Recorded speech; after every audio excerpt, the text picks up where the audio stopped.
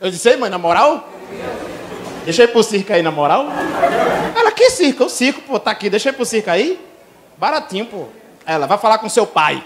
Ela disse, opa, só falta um agora. Eu tinha que chegar no meu pai na confiança. Eu cheguei no meu pai e fazia, ei, pai, você tá sabendo? Ele, de que? Minha mãe tá dizendo que o senhor não se garante não de me deixar ir pro circo, não.